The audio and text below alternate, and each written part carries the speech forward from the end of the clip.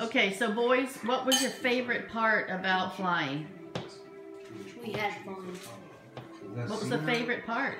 We had fun. Um, see,